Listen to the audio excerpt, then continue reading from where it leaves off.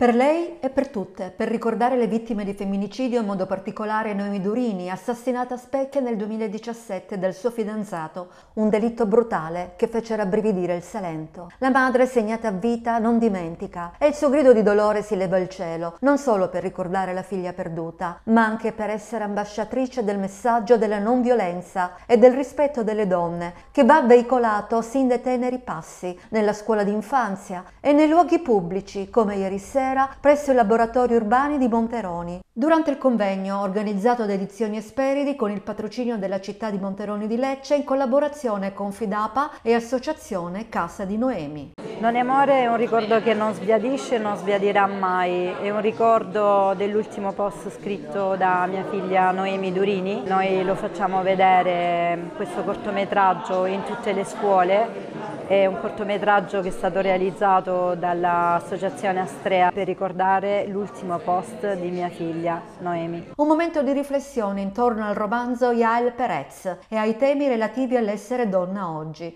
Il grande problema della violenza di genere è un fenomeno fin troppo diffuso che non si riesce ad arginare. Il più delle volte si annida come un cancro tra le mura domestiche e nei rapporti d'amore. Sta nella forza delle donne ribellarsi e trovare il riscatto, perché se vi umiliano, se vi picchiano, se vi vietano di vestire alla moda, se vi confinano in casa, se vi stalkerizzano, e se vi trattano alla stregua di schiave, non è amore e d'amore non si muore. Speriamo di aver dato un piccolo contributo per eh, raggiungere finalmente la parità di genere contro ogni discriminazione, che sia sessista, che sia razziale, che sia morale e umana.